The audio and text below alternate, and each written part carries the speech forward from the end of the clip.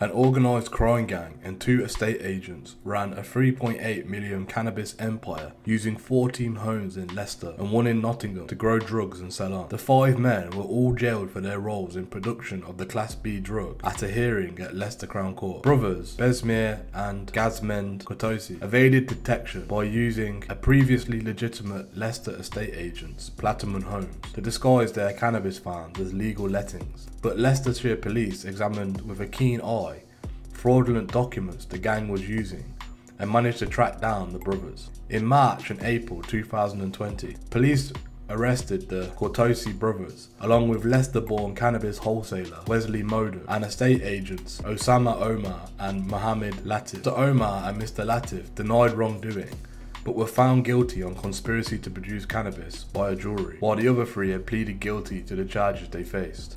All five were jailed, each receiving sentences of five years or more. The court heard that of the 15 properties raided by the police, 13 still had large cannabis grows at the time, and the other two had evidence of previous grows. The total street value of the cannabis farm was about 3.8 million pounds. However, the court heard that with multiple harvests, the home could have produced a turnover of between 6 and 7 million pounds each year. Besmir Kortoci, 31, of Courtyard Close, Syston, was jailed for 9 years and 9 months for producing and supplying cannabis, as well as false document offences. His brother, Gazmen Kortoci, 28, of no fixed address, was locked up for six years and nine months for conspiring to produce the Class B drugs. Mr. Moden, 43 of Park Road, Wigston, got five years for conspiracy to supply. Platinum Homes boss, Mr. Omar, who was 37, of Everest Court, St. Matthews, Leicester, was jailed for seven years, while his trusted right-hand man, Mr. Latif, who was 47, of Kitchener Road,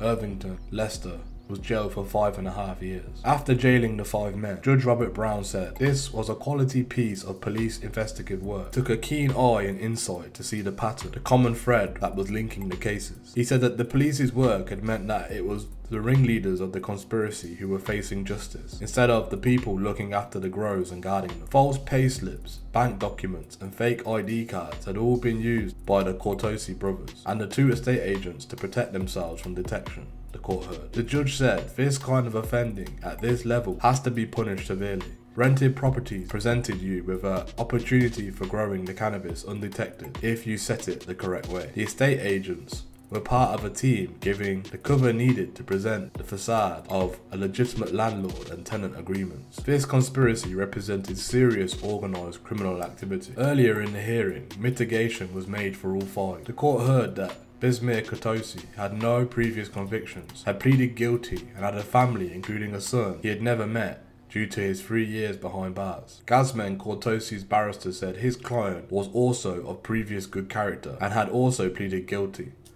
The court heard that Mr. Omar was of positive good character, volunteering in his community and caring for his parents and four children, while Mr. Latif was described as a man of previous good character who had been suffering with a £44,000 debt and mental health problems at the time of his offending. Mr. Moden's barrister said his client was drinking a bottle of vodka a day and also dealing with debt problems at the same time of the conspiracy. He was a hard-working man with a two-year-old child and a second one on the way. Victoria Staffer, who worked on the investigation as part of East Midlands Special Operations Unit, EMSOU, said this was a long and complex investigation, which finally ended in the criminal activity of the gangs who had been operating on a professional and well organised level for some times. The combined efforts of all those involved in this investigation, whether that was around enforcement or investigation, managed to successfully seize a combined total of over 160 kilos of cannabis, with an estimated street value of over £2 million.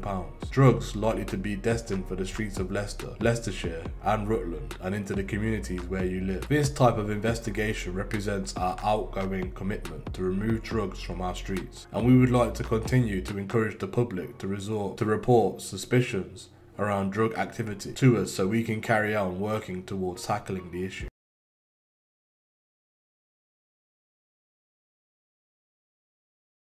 A woman who carried out a violent assault in East Dulwich East Dulwich, has been jailed. Princess Owusu-Ansah, who was 18 of Royston, Hertfordshire, entered the home of her victim. She then proceeded to stab and pour boiling water over the victim during the violent assault. The victim was taken to hospital where the injuries were assessed as non-life threatening. The harrowing assault was broadcast live on social media while sentimental items belonging to the victim were also damaged. Miss Owusu-Ansah pleaded guilty to causing grievous bodily harm with intent and criminal damage at Croydon Crown Court. She was sentenced to three years imprisonment at the same court. DC Abigail Elliott from Central South Command Unit said, I hope this result brings the victim some sort of comfort in knowing this violent offender has been brought to justice, and I admire the strength and courage she has shown throughout.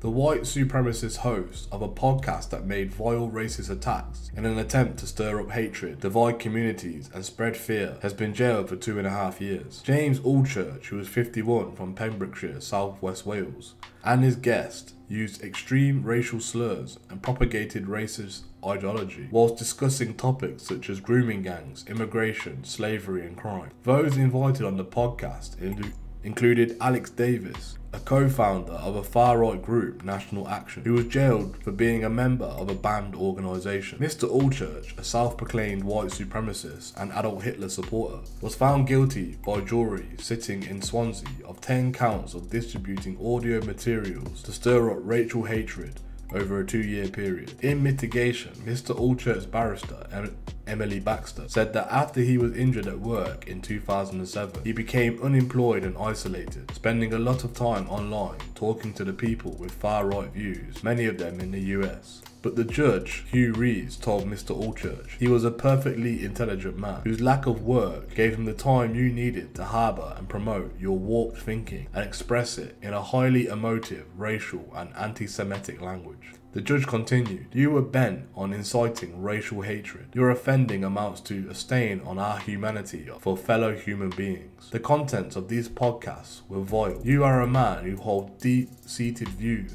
of a highly projective racist and anti-Semitic nature. The judge highlighted a probation report that said while there was no direct victim, what Mr. Allchurch had done has an impact on community coercion and created fear. Each charge he faced related to a separate episode uploaded by Mr. Allchurch between May 2019 and March 2021 to a public website called Radio Aryan, later renamed Radio Albion. A number of other known extremists in the UK and US featured on the podcast, talking to Mr. Allchurch, who went by the alias Sven Longshanks, a reference to King Edward I, who was also known as Edward Longshanks and was responsible for expelling Jewish people from England in 1920. Jonathan Rees, KC, prosecuting, described the podcast as highly racist, anti Semitic, and white supremacist in nature. Mr. Rees said the purpose of Radio Aryan was to spread propaganda and racial conflict. The prosecutor said that about 4,000 people listened to the podcast when they were first posted, and they remained in an archive that could be accessed later. He said that Mr. Allchurch used the podcast as a propaganda mouthpiece and said it was aimed at impressionable listeners.